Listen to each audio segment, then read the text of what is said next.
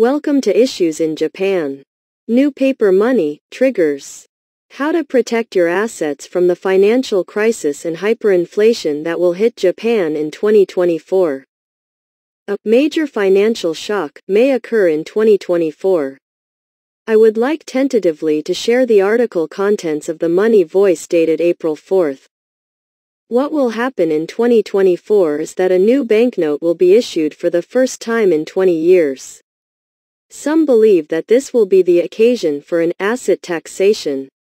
Now, as you all know, the outstanding debt of the Japanese government bonds is ballooning. At the end of 2021, it has surpassed 1,220 trillion yen, which is close to 260% of GDP. This is because 40% of the national budget is debt, and the debt has continued to grow every year until today. How much more can the debt be inflated? The current situation in Japan is that the value of the Japanese yen has been continuously exposed to the possibility of a sudden collapse of its value every year. In response to the new coronavirus, the amount of government bonds issued has also been increased, as if to follow the MMT, modern monetary theory. The Bank of Japan is in a de facto state of fiscal finance by buying up all the government bonds of financial institutions. This is an extremely dangerous situation that could lead to a loss of confidence in Japanese government bonds at any moment. Looking at the world, the Russian ruble has plunged due to the invasion of Ukraine, and the Japanese yen is also on a downtrend among the world's currencies. Regardless of the global contingency of Russia invading Ukraine, contingency buying of the Japanese yen has not occurred. In Japan, the debt has accumulated to 1,220 trillion yen, more than twice the GDP. And it is no longer an amount that could be repaid by any means. Needless to say, Japan is facing the possibility of default at some point in the future. In order to reduce the debt before this happens, the government has no choice but to take away the people's wealth or to reduce the burden through inflation. However, one wrong move could lead to a super depreciation of the yen and hyperinflation. This is a frightening story because some people predict that this property taxation on the people will be implemented in 2024. Why is this? Because in 2024, New banknotes will be issued for the first time in 20 years.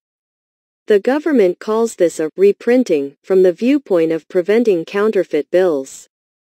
But what if a deposit blockade is imposed at the time of the issuance of these new bills, making the old bills unusable?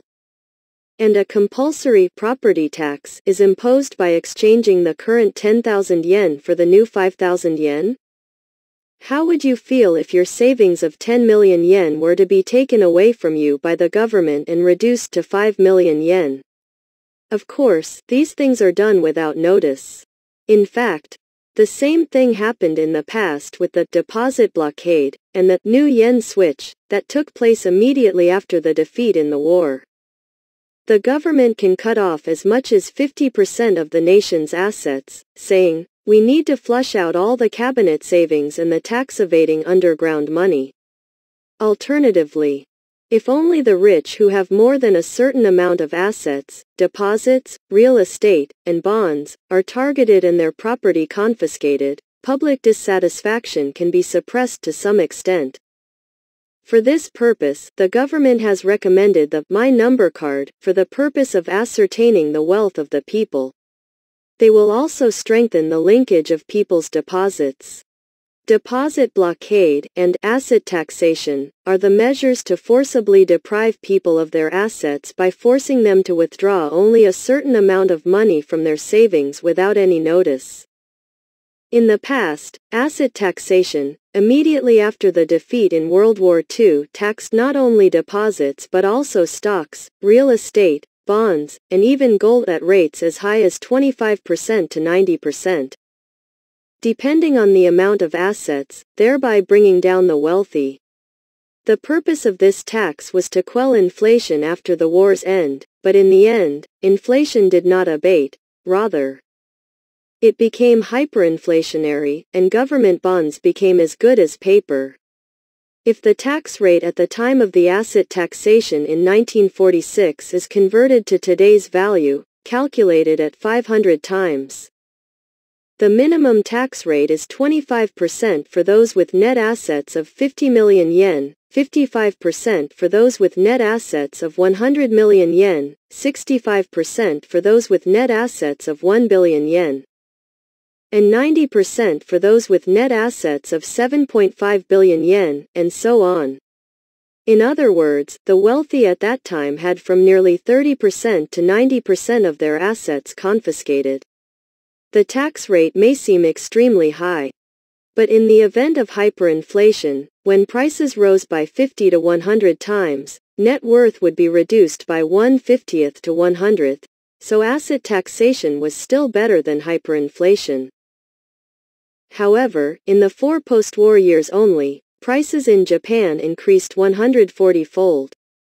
In other words, the wealthy were hit with a double whammy because of the high rate of asset taxation and the hyperinflation that hit them at the time. Of course, the general public were also hit hard by hyperinflation. Moreover, this asset taxation alone was not enough to cancel the debt of wartime government bonds, which amounted to 200% of GDP at the time. In the end, the government bonds that were overspent during the war were actually cancelled out through hyperinflation. To defend your net assets against the deposit blockade and asset taxation, it is important to first hold US dollars in overseas bank deposits. This is because even if you deposit dollars in Japanese financial institutions, they will be captured as assets. Investing in real estate in the U.S. is also a good idea. However, the National Tax Administration Bureau in Japan requires the submission of a foreign assets report every year if you have overseas holdings of 50 million yen or more.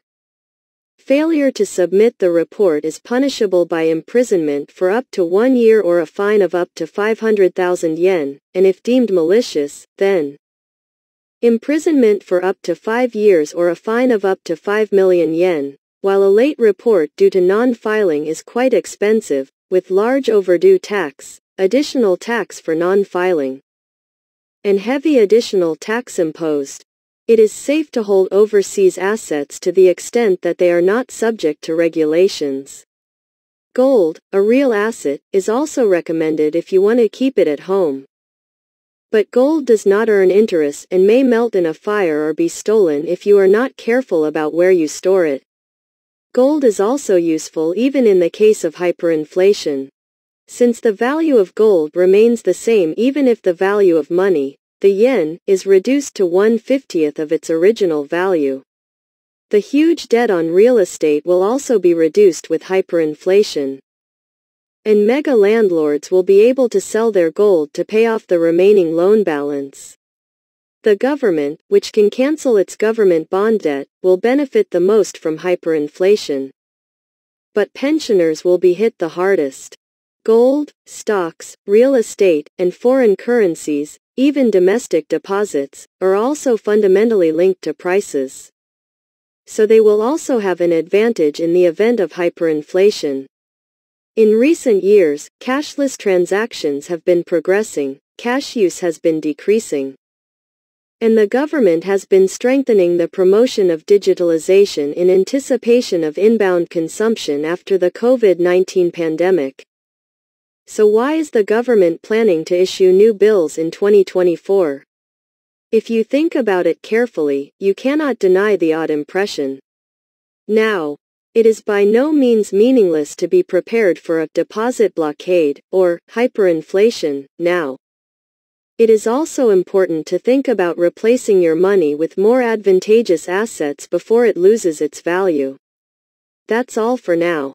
I have tentatively shared the article contents of the Money Voice dated April 4th, just for your reference. Thank you for your interest.